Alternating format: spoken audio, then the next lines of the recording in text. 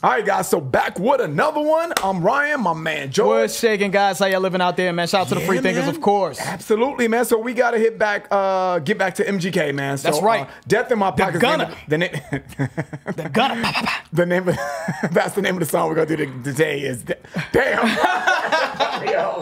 So death in my pocket is the right. name of the song that we're doing today, guys.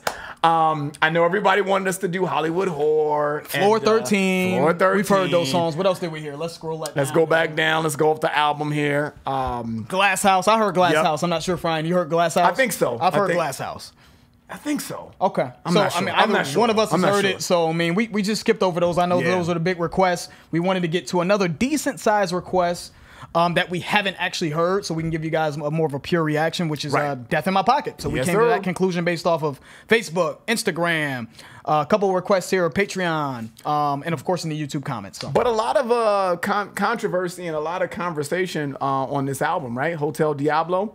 Yeah, I think it's more of a trip inside his mind or something along those You lines. know? I haven't really done my due diligence to know exactly what the premise of the album is.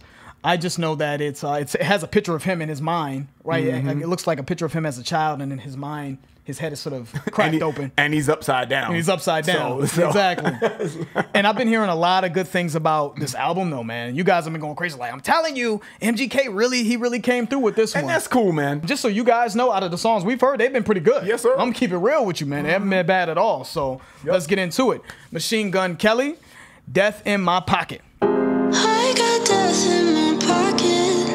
But time. All these bones in the closet, in the back of my mind. I just leave them there, I don't even care, no. Holding up a flare, I could use a prayer. Oh, I got death in my pocket, but I feel so alive. Don't know why, but it feels like my world is crashing down.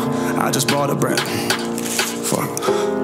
Fuck. Starting to hesitate. Think of that. What do you think of that, Ryan? Dude, I, I love uh, how this is starting. That I didn't chorus. know, I didn't want to like pause it that early, but yeah, I heard you say, mm. yeah, yeah, you know, You're like, mmm. So I you was know, like, you um, I I like it, man. Me, the chorus basically starts here, guys, with "I got death in my pocket." And nothing but time, right? All these bones in my closet in the back of my mind, right? I'll just leave them there. I don't even care. Holding up a flare, I could use a prayer, right? I got death in my pocket, but I feel so alive. So, to me, the way I'm taking that, man. I don't know if that's drugs. I got death, death in my pocket. Like I don't know. Yeah, I don't know if that's drugs because um, they can kill you. But I feel so alive when you're high. You feel like you're on cloud 11. You know what I'm saying? You're like, man, I'm. I feel so great, but you're actually killing yourself. You know? And also maybe you're at death's door as well. Yep. Right? Maybe like, death is near um, near you, but also death pills, like you just said as well. So Exactly. holding up a flare. Yep, yep, exactly. I before I was gonna get get to that, but um, all these bones in my closet in the back of my mind, right? You Skeletons. got skeletons in your closet, right? You got things that you're not uh, proud of, you're ashamed of, you know. Um, but we all have them, right? We all have things that we're not too proud of. And then to your Taking point, it to the grave. Yeah. I'm gonna take my money, George. Gonna take his Yeah, skeletons yeah. to the Take it to the grave. grave. now go ahead, my bad, man. Uh, no, no, you're good. And then uh, to touch on what you just said, holding up a flare. I need a prayer. You know, I mean, you hold up a flare when you're lost, right? You need help, right? Cry I need help. a prayer. So uh, I thought that was really good writing, man. I don't know who. Uh, I did, I did, I like that as well. Naomi, Naomi Wild on the chorus as Yeah. well. And it's interesting when I saw him in an interview on the Breakfast Club, he looked unstable to me during that time. Did he? I didn't he, see it. He looked see it. unstable. You know, during during that interview, you could tell that he, was, he was going through a lot. Um, so when he says things like this, holding up a flare, um, I could use a prayer. I think the writing's good enough. I'm really actually feeling this. That he but I'm a little concerned for, for the guy based off of that. You know, seeing him in that Breakfast Club interview and then hearing these lyrics. You know, this is interesting. So we're gonna let the song rock out. But Mm-hmm. Yeah, man. um, I like that you pointed that out, Ryan. I actually thought that chorus was uh, very well written. I got death in my pocket, but I feel so alive. Don't know why, but it feels like my world is crashing down. I just bought a breath. Fuck. Starting to take to get this flashy. But it feels like my world is crashing down. I just bought a brand new car, I wanna crash it now. How much darkness did it take to get this flashy now? I lose a piece of my soul when the cameras flash, so I'm just asking every fan who's questioning my passion, thinking I'm caught up in fashion, or that I forgot my past to understand that I'm just a dropout. I don't have the answers. I became a dad so young, I ain't know how to use them pampers. Baby mama's food stamps kept my stomach full. I had to make a plan, cause now my family needed me to make a rap. rapping. Me and Slim back at that address, 128 we trapping, writing lyrics down on napkins. Room so small we share a mattress. Look what happened.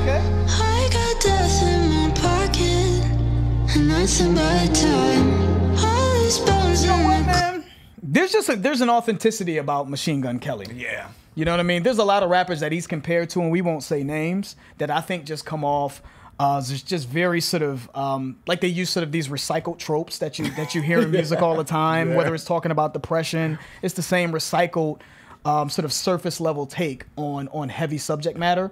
But with him, I don't feel like I feel like this is coming from a straight up real place. I mean, even the detail that he uses, right? Mm-hmm. Baby's mama's food stamps kept my stomach full. He's going in in, in the Yeah. very descriptive detail about the struggles, right? About the, the the pathway to get to where he's at. Yep. You know what I mean? And I love in this verse where it just kind of feels like he's specifically talking to his fans that are that are questioning um, if he's the same person. It seems like right that he Mm-hmm. was when he first came out. He said, I, I bought a brand new car. I want to crash it now. Mm-hmm. How much darkness does it take to get this flashy now? That was Which I thought was slick. That was hard. Right? You know what I'm saying? Mm-hmm. How much darkness does it take? So you have to go through a lot of the darkness, right? These dark places in order to get to this life of uh, affluence or whatever the case may be, these flashy lifestyle. What- but what did it take? What, what sacrifice to get to this point? Because he even followed that up with he said, um, I lose a piece of my soul when the camera flashes. Flashes, which I thought was- every time the camera flashes, right? In Yeah. front of the media, and you know, every time I, I'm I'm playing the role. faking, faking the funk. You know what I'm saying? what needed to be sacrificed Right. in order for me to be here. And I mm-hmm. just loved sort of the detail that he went into, many specific details that really to me add a certain level of authenticity to, to what he's Yep. saying, man. So I like it so far. Let's keep rocking. I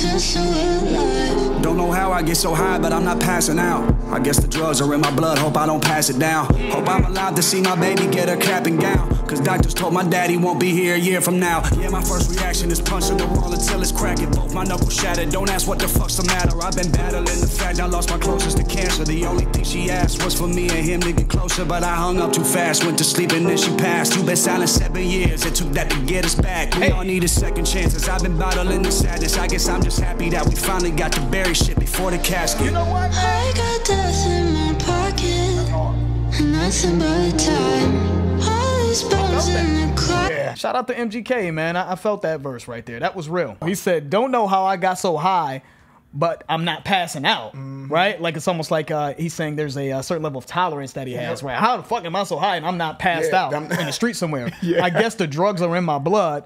Hope I don't pass it down. Mm-hmm. Almost The like addiction. He's like exactly the addiction of drugs, but mm-hmm. genetically in his blood, as in mm-hmm. genetically he's passing this sort of addiction down. So it looks like his daughter. He doesn't. He hopes that he doesn't pass it down to her. And then he went into this whole thing about his sort of uh, his relationship with with his, I guess his estranged father. You know, I mean, it just um, they're just not. They haven't been speaking, right? And in the midst of them not speaking. It looks like uh, his mom, her la- her dying wishes were for him and his dad to kind of get closer. That was her dying wishes, and he just hung the phone up like he wasn't trying to hear it. Apparently, And then she passed away. and then she passed away, right? And I guess it took seven years for him and his father to really get to the point where they can they can speak again. But Mm-hmm. also his dad's dealing with, looks like it said because doctors told my dad he won't be uh, here a year from now. So maybe that's what got them together. together. You know what I mean? So that's just real. You know what I'm saying? Like Yep. it's this is like him being vulnerable. Uh, giving these very, very sort of uh, intimate details of his life to Yep. to his fans, man. How, how can you be mad at that? Yep. You know, I love it, man. And I love the way he ended that. He said, We all need second chances, right? He's I've been bottling, bottling up the sadness. He's I guess I'm just happy that we finally got to bury the shit before the casket. Casket. Bury the shit, the bullshit, right, before, before the, the casket, right? But play on words, you know, you get buried when you when you die in a casket. That's right. Thought that was hard. We Dope buried line. The bullshit. We buried all this animosity before we actually bury ourselves. before we bury ourselves. That's the way I, I took that. I was like, dude, that was hard. Hard. dude, he's doing his thing. Let's finish it up.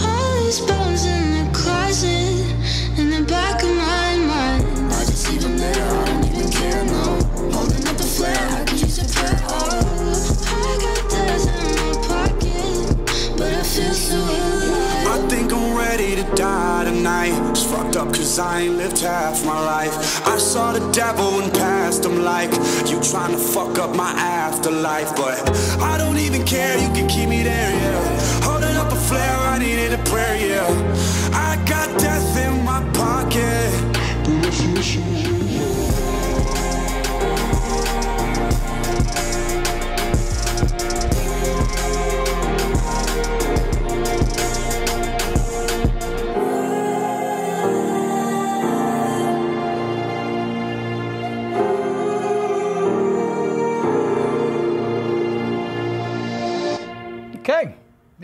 out to MGK on that one, man. deep. He did his thing, man. That was deep. One thing that I will say is that when this fir- this song first came on, Naomi Wild, no disrespect to you, Naomi Wild, I heard her voice, you know, and I heard this melody, and I'm like, oh my god, here we go, another sort of pop pop star uh, feature on.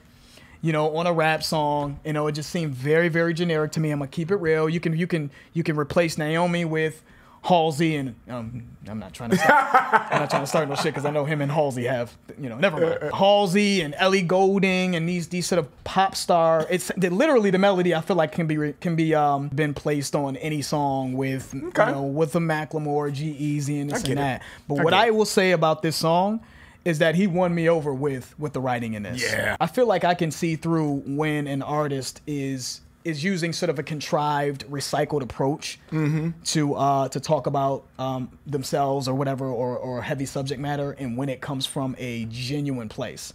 And um, and I feel that from him. I felt that throughout this entire song from MGK. Man, I thought he buried his soul on this. And um, and I think that's what it is. What else do you want from an artist? You know what I mean? But to to to give a piece of himself uh, through his music, man. And I thought he did that throughout this whole song. And I actually thought there were some clever lines in here. Yep. And very thought provoking, compelling lines uh, in this as well. You know what I mean? So what else can you ask for, man? So I'm gonna give this a thumbs up. Yeah. I thought he did his thing on this. I think so too, man. And I like when how he finished this song, man. He's uh, I think I'm ready to die tonight. He's fucked up because I've only, I've only lived half my life. He's all, I saw the devil and I passed him like you trying to fuck up my afterlife. He's all, but I don't even care. You can keep me there. Hold up a flare. I need a prayer. I got death in my pocket, but I feel so alive. The reason why I wanted to say all of that, because what I really liked in that is he said, um, I'm willing to die. He's all, but I don't care. You know what I'm saying? It was like, dude, because I've only lived half my life. And the devil was trying to trying to maybe take his soul, mm-hmm. but he doesn't even care. It's like, dude, at this time, at this point, my life is so in shambles right now that I'd rather just, you know, okay, take take my soul, devil. Fuck it, I'm in hell anyway. I thought that was well said. I thought he he brought that home beautifully in the song. That's So, it.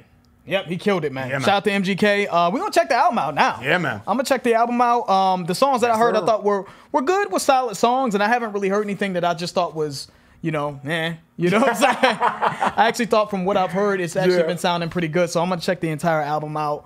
Uh, from MGK, man, and go check that out as well, man. Stream Yes, that thing, you know. So that's it, guys. If you enjoyed that, please hit the like button. If you haven't subscribed, please subscribe. I'm George. That's Ryan, Lost In Vegas. We out. We out.